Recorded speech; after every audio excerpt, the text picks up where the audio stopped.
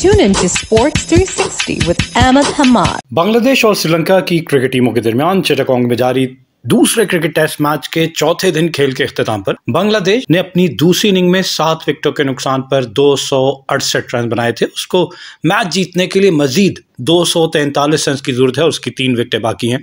और आज जब चौथे दिन के खेल का अख्ताम हुआ तो मेदी हसन मिराज चवालीस और तेजुल इस्लाम दस के स्कोर पर बैटिंग कर रहे थे। इससे कबल श्रीलंका ने आज अपनी दूसरी इनिंग कल के स्कोर, तीसरे दिन खेल के अख्ताम पे 102 रन, छह विकेटों के नुकसान पर दोबारा शुरू की। तो उसने अपनी दूसरी इनिंग एक सौ सत्तावन रन, सात विकेटों के नुकसान पर डिक्लेयर करने का ऐलान किया।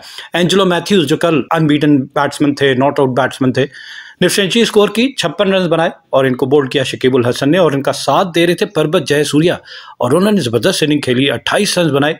सड़सठ गेंदों का सामना किया और दो चौके इनकी इनिंग में शामिल थे। छह खिलाड़ी कल आउट हो चुके थे और आज जो सातवीं विकेट गिरी थी, वो थी वो थी एंजेलो मैथ्यूज की और जब इनकी टीम का टोटल 132 पे पहुँचा, तब एंजेलो मैथ्यूज छप्पन रन बनाने के बाद आउट हुए। तो एक ज़बरदस्त परफॉर्मेंस एंजेलो मैथ्यूज की जानब से। जी हाँ एंजेलो मैथ्यूज और परबत जयसूर्या के दरमियान सातवें विकेट की पार्टनरशिप में तैंतालीस रन बने बानवे गेंदों पर, जिसमें एंजेलो मैथ्यूज ने सत्ताईस और जयसूर्या ने सोलह रन बनाए। इसके बाद से आठवें विकेट की पार्टनरशिप में जयसूर्या और फर्नैंडो के दरमियान पच्चीस रन का इजाफा हुआ और फिर श्रीलंका ने अपनी इनिंग डिक्लेयर करने का फैसला किया। जी हाँ सात विकेटों के नुकसान पर एक सौ सत्तावन रन बनाकर श्रीलंका ने अपनी इनिंग डिक्लेयर करने का फैसला किया और बांग्लादेश को दूसरी इनिंग में 511 रन का हदफ दिया और उस 511 रन के ताकुब में बांग्लादेश ने चौथे दिन खेल के अख्ताम पर अपनी दूसरी इनिंग में सात विकटों के नुकसान पर दो रन बनाए थे। बहुत मुश्किल नज़र आ रहा है।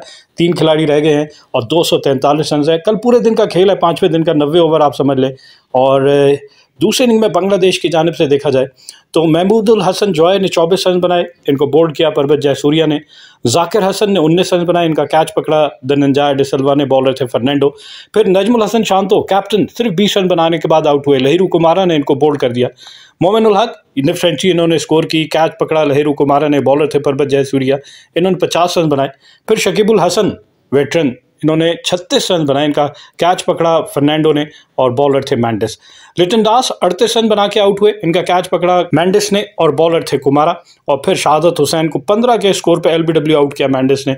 मेहदी हसन मिराज चवालीस रन के साथ नॉट आउट रहे, जबकि तेजुल इस्लाम ने 10 रन बनाए, वो भी नॉट आउट रहे। दूसरी इनिंग में देखा जाए, बांग्लादेश की टीम ने अब तक सड़सठ ओवर बैटिंग की है। चार की औसत से दो सौ अड़सठ रन बनाए हैं, सात विकेटों के नुकसान पर। बॉलिंग देख ली जाए श्रीलंका की तो विश्वा फर्नांडो दस ओवर में उनतालीस रन देकर एक विकेट हासिल की। अशिता फर्नांडो बारह ओवर में एक मेडन बावन रन दिए कोई विकेट हासिल नहीं की। लहरू कुमारा ग्यारह ओवर में दो मेडन इकतालीस रन देकर दो विकेटें हासिल की। परबत जयसूर्या बीस ओवर में एक मेडन उनासी रन देकर दो विकेटें हासिल की। धनंजय डिसल्वा ने सात ओवर में एक मिडन पच्चीस रन दिए, कोई विकेट हासिल नहीं की। और कमिंडू मैंडस ने सात ओवर में बाईस रन दिए और दो विकेटें हासिल की। इस मैच की समरी अगर आपको बताएँ तो जनाब, आपको पहले बताएँ, श्रीलंका ने अपनी पहली इनिंग में पाँच सौ इकतीस रन बनाए। जी हाँ पाँच सौ इकतीस रन का एक बड़ा पहाड़ जैसा टोटल श्रीलंका ने बोर्ड पे लगाया। जिसके जवाब में बांग्लादेश की टीम अपनी पहली इनिंग में एक सौ अठहत्तर रन बना के आउट हो गई। इस तरह श्रीलंका को पहली इनिंग में तीन सौ तिरपन रन की बरतरी हासिल हुई। और दूसरी इनिंग में श्रीलंका ने एक सौ सत्तावन रन बनाए, सात विकेटों के नुकसान पर इनिंग डिक्लेयर करने का फैसला किया और बांग्लादेश को चौथी इनिंग में, जी हाँ अपनी दूसरी इनिंग में 511 रन का हदफ दिया, जिसके ताकुब में बांग्लादेश की टीम चौथे दिन, टेस्ट मैच के चौथे दिन खेल के अख्ताम पर सात विकेटों के नुकसान पर दो सौ अड़सठ रन बना सकी और इसे मजीद दो सौ तैंतालीस रन चाहिए हैं आखिरी दस ओवर में। चौथे दिन अगर आखिरी दस ओवर में देखा जाए तो बांग्लादेश ने बावन रन बनाए, एक विकेट के नुकसान पर। बांग्लादेश की दूसरी इनिंग में अगर पार्टनरशिप्स देख ली जाए, क्योंकि दो सौ अड़सठ रन बना लिए कदरे बेहतर पहली इनिंग के मुकाबले में, जहाँ एक पे आउट हो गई थी पूरी टीम तो दूसरी इनिंग में उनकी परफॉर्मेंस कर, कदरे बेहतर आपको पार्टनरशिप एक नज़र आ रही होगी। पहली विकेट पे सैंतीस रन तीसरी विकेट पे तैंतालीस रन चौथी विकेट पे अड़तीस रन पाँचवें विकेट पे इकसठ रन की पार्टनरशिप और उसके बाद से सातवीं विकेट पे छियालीस रन की पार्टनरशिप। और ये जो अभी आठवीं विकेट की पार्टनरशिप जारी है, इसमें अब तक पच्चीस रन बन चुके हैं, जिसमें तेजुल इस्लाम ने दस और मेहदी हसन मिराज ने पंद्रह रन बनाए हैं। और दोनों टीमों का अगर ट्रैक रिकॉर्ड देखा जाए, आखिरी पाँच टेस्ट मैच श्रीलंका ने जो खेले, उनमें से श्रीलंका ने तीन टेस्ट मैच जीते और दो में उसे शिकस्त हुई। और ये वो दो मैच है जिसमें पाकिस्तान ने श्रीलंका को शिकस्त दी थी श्रीलंका में। बांग्लादेश के आखिरी पाँच टेस्ट मैच देखे जाएँ तो बांग्लादेश ने भी आखिरी पाँच में से तीन में कामयाबी और दो में बांग्लादेश को शिकस्त का सामना करना पड़ा। वर्ल्ड टेस्ट चैंपियनशिप के हवाले से ये सीरीज़ खेली जा रही है और देखते हैं कि जनाब, बांग्लादेश और साथ साथ श्रीलंका इस मैच के रिज़ल्ट के बाद कहाँ पे फिनिश करती हैं? कौन सी टीम जो है वो वर्ल्ड टेस्ट चैंपियनशिप के पॉइंट्स टेबल पे अभी अगर देखा जाए तो भारत बदस्तूर पहले नंबर पे है। नौ मैच खेले छः जीते, दो हारे, एक ड्रॉ हुआ। 74 पॉइंट है और विन परसेंटेज है 68.51 दूसरे नंबर पे ऑस्ट्रेलिया है, जिसने 12 मैच खेले, आठ जीते, तीन हारे, एक ड्रॉ हुआ, नब्बे पॉइंट है और 62.50 इनका विन परसेंटेज। तीसरे नंबर पे न्यूजीलैंड की टीम है, जिसने छह मैच खेले, तीन जीते, तीन हारे, छत्तीस पॉइंट है, फिफ्टी परसेंट विन परसेंटेज। चौथे नंबर पे पाकिस्तान है, जिसने पाँच मैच खेले, दो जीते, तीन हारे, बाईस पॉइंट है और 36.66 पाकिस्तान का विन परसेंटेज पाँचवें नंबर पे वेस्ट इंडीज की टीम है, जिसने चार मैच खेले, एक जीता, दो हारे और एक ड्रॉ हुआ 16 पॉइंट है और 33.33 इनका विन परसेंटेज छठे नंबर पे, जी हाँ इस वक्त श्रीलंका की टीम छठे नंबर पे है, इससे सीरीज़ से पहले नौवें और आखिरी नंबर पे थी, अब छठे नंबर पे आ गई है। तीन मैच खेले, एक जीता, दो हारे 12 पॉइंट है और 33.33 इनका विन परसेंटेज बांग्लादेश, जी हाँ जो इस सीरीज़ से पहले चौथे नंबर पे थी, अब सातवें नंबर पे आ गई है।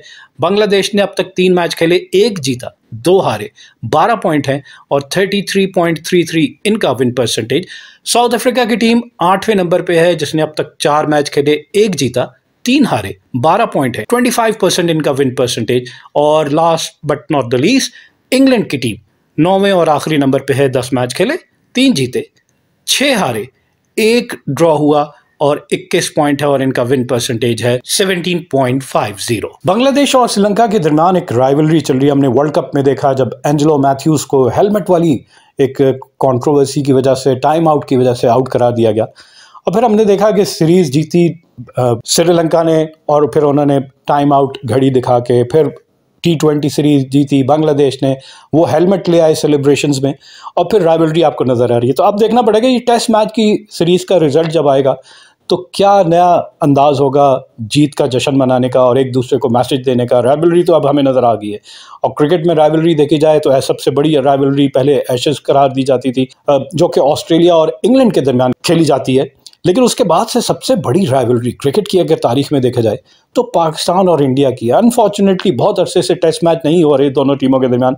लेकिन अब ये लेटेस्ट राइवलरी आपको नज़र आ रही है बिटवीन श्रीलंका एंड बांग्लादेश और एक और राइवलरी है, अफ़गानिस्तान और पाकिस्तान के दरमियान भी बड़ी rivalry shorter format of cricket में हम देखते हैं कि बड़े टेंस मैचेस होते हैं, बड़े क्लोज मैचेस होते हैं, बड़े हीटेड एक्सचेंज ऑफ़ वर्ड्स होते हैं दोनों टीमों के दरमियान। कोई भी टीम हारना नहीं चाहती और यहाँ पर अगर श्रीलंका के पॉइंट ऑफ़ व्यू से देखा जाए या बांग्लादेश के पॉइंट ऑफ़ व्यू से देखा जाए तो बांग्लादेश की टीम अपने ही मुल्क में होम सीरीज़ में स्ट्रगल करती हुई नज़र आ रही है और शायकीन क्रिकेट बांग्लादेश के जो हैं, उनको बड़ा अफसोस हो रहा होगा कि अपने होम क्राउड में होम कंडीशन में होम एडवांटेज नहीं लिया।